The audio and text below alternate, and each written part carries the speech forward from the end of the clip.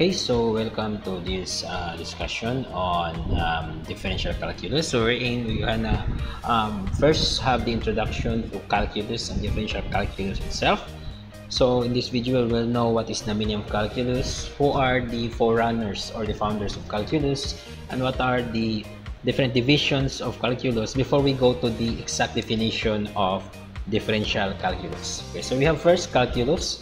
So the word calculus uh, derived from the Latin word calx, which means stone, and from a Greek word chalice, which means limestone. So basically, calculus came come from the word stone itself. No, so calx, which is the Latin word, and uh, limestone uh, chalice, which is the Greek word. But the actual definition of um, calculus is it is the it is the branch of mathematics so concerned with instantaneous rate of change and the summation of infinitely many small factors. So that's why we could um, relate um, the summation of stones, so that so stones or the summation or, or the uh, rate of change of a certain uh, small object. So we could have done a stone or pebbles. So that's why the term calculus comes from calx or chalice, which means stone itself.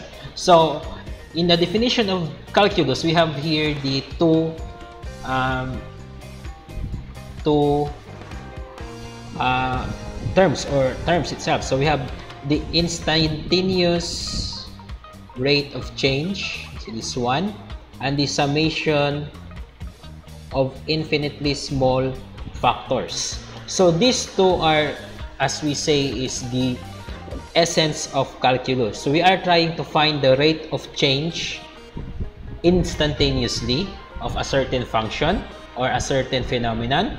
And we are also trying to get the summation of those changes. So summation of those changes or the infinitely many small factors. So the the instantaneous rate of change is tackled on, on a division of calculus and the other one, the summation of infinitely many small factors is also tackled on another uh, division of calculus which we are which later we'll be talking about.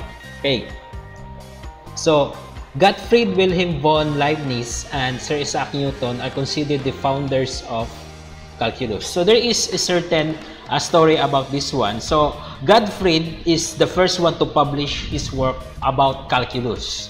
But Sir Isaac Newton is the very first one who studied calculus. The the only drawback to him is that he uh, he is uh, late in publishing his work. Then we have the four divisions of calculus. So first we have differential calculus, no? differential. Then you have integral calculus, differential equation, and the calculus of different of variation.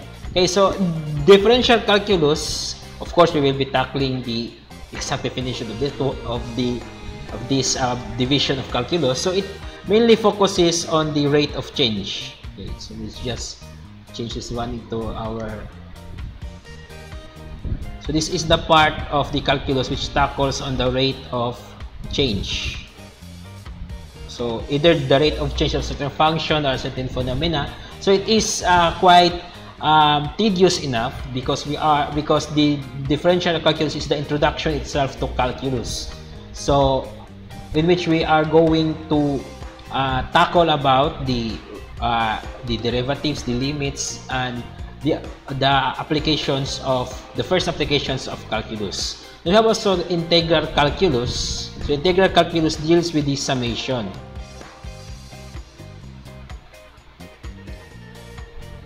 So it is now the summation of the many small factors, infinitely many small factors. Then we have the differential equation. So it is the the study in which we are going to solve uh, equations with differentials.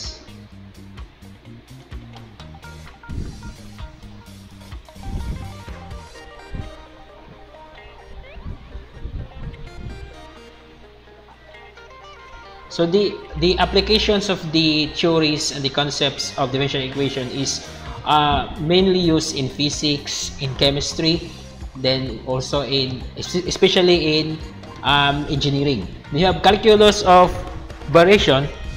It tackles on uh, how a certain function, a certain phenomena will behave if we are going to cause a change on the uh, on the equation itself. So that that's why we have variation. So we have our own um, concept of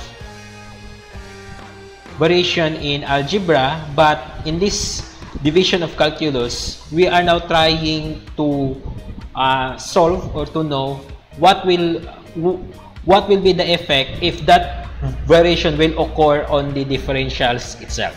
So that is the calculus of variation. Then we have differential calculus. So the actual uh, definition of differential calculus. So it is the branch of mathematics which deals with derivatives and limits. So that is the main um, uh, the main uh, uh, the main coverage of differential calculus, the derivatives and the limits. Of course, we are going to know what is the definition of limits and derivatives in the later video, but the differential calculus mainly focuses on those two, derivatives and limits. So,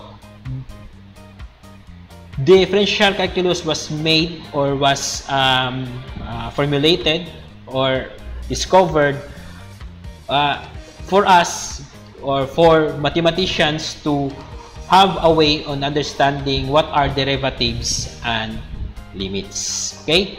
So that will be all for this in, in introduction to calculus and itself the differential calculus. So thank you for watching this video and as always, enjoy learning.